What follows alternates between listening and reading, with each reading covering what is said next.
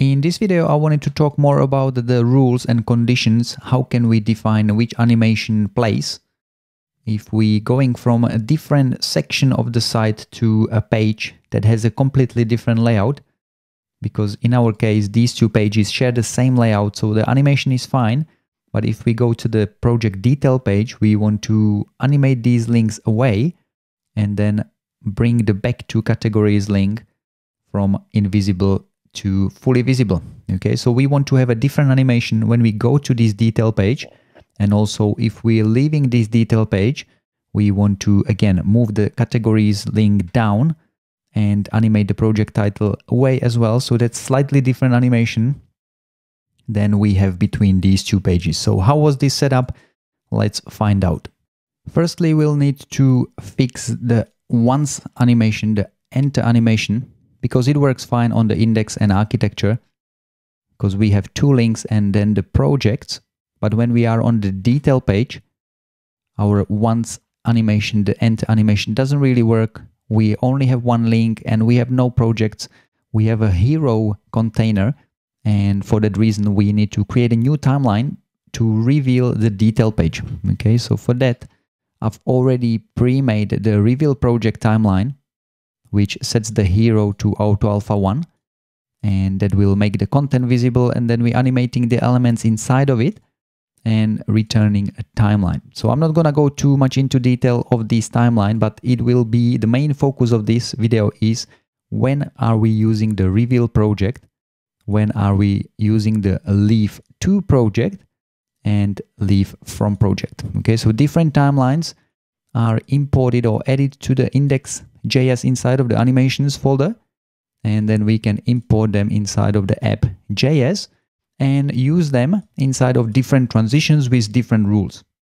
Let's firstly rename the first transition, give it a name general transition. This will be used on any other page. We'll call it general transition and then we will create a new transition just specific for the detail page. Okay, we'll call it detail and inside of it, we firstly worry about the once transition. So when the page loads for the first time, we want to reveal it with a slightly different timeline that we've already created. And inside of the once hook, we want to reuse the reveal project. Okay, this time, again, we'll passing the next dot container. That's the page coming in. That's the container coming in on the first page load. And if we review this in the browser, we will see the correct animation and revealing the project with the right elements. So how does Barba know which animation to play? We have two hooks once and Barba actually takes the last one that has been declared. Okay, so we have two objects and if we move the second one to the top, declare it first, then the second one will override it. So think about it as a style sheet the second animation or hook defined with the same conditions or same strength that we will get to it a little bit later. But for now, if we just swap these two, we'll see that the general transition will be applied for our detail page. Okay, so that's that's not what we want. We want to make sure that the detail always plays the once transition that has the reveal project timeline and for that, we will need to define a to condition or to rule. We will say when we are going to the detail page, to the detail namespace, we want to play the reveal project transition. Okay, so this will make this detail page or detail transition stronger and it will not be overwritten by the general transition. And if we go to index or architecture pages and refresh the page, you see the default general transition, the once hook being applied to these two pages.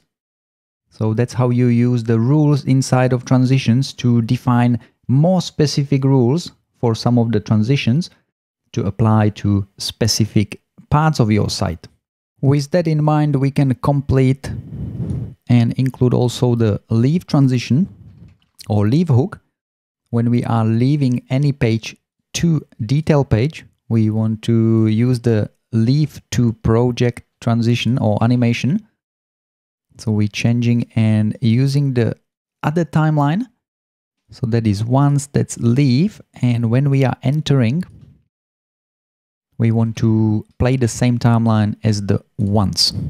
Okay, so if we are entering into detail, we want to play the same transition which is inside of the reveal project function. Okay, so same timelines for the once and enter. We are playing reveal project and when we are leaving the first two pages, the two categories pages, we want to use the leave to project timeline. Okay, so these are the rules for the transitions and uh, hooks. Let's save it, view it in a browser, and we should see much smoother. This is the generic transition between these two pages. But as soon as we go to the detail page, this page will animate out different way. The links will hide. And the page, detail page will reveal the same way as on the in the once hook. Okay, so that's the difference between using two different timelines or different transitions between different sections of the site. Okay, hope that makes sense. I try to be really clear of how we are using different sets of hooks between these two pages and how we are leaving this page in a different fashion when we're going to the detail page. Now let's recap what we've done in this video. We're including three more timelines inside of the animations folder. They are used for different entering and leaving different part different parts of the section or the site and then inside of the barba init we've created we've added one more transition firstly it was the same strength or same specificity as the general transition so the one that is included in the transitions array later. We'll always override the previous one. And then we made the transition to the detail page stronger by specifying the rule to when we're going to the namespace detail, and this rule makes this transition stronger or more specific, that's why Barba is using it.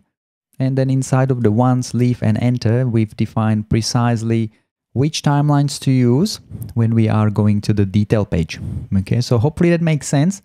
And as a challenge for you, I would like you to try to make animation or new timeline or new rule, new transition when we go from the detail page back to the index. Okay, so let's try to create new transition and animate the back to categories link away and then show these two revealing like they're revealing on a page load. Okay, so we want to tweak it a little bit. Here is the final result and I'll share with you in the next video how I did that when we're going back from this page to the detail page or index page, we are revealing, we are hiding the link and then showing these two from invisible. Okay, so a little bit different transition. Again, customized transition, playing at the right time when we are leaving the details page and entering the index. We want to play a different timeline. Okay, the timeline itself is already created. So if you're following me on my side, then you have the snippets under the video and we want to use this leave from project at the right time when we are leaving the detail page. Okay, so let's try to set up new transition specific for that scenario. See if you can do it and I'll do it in the next video.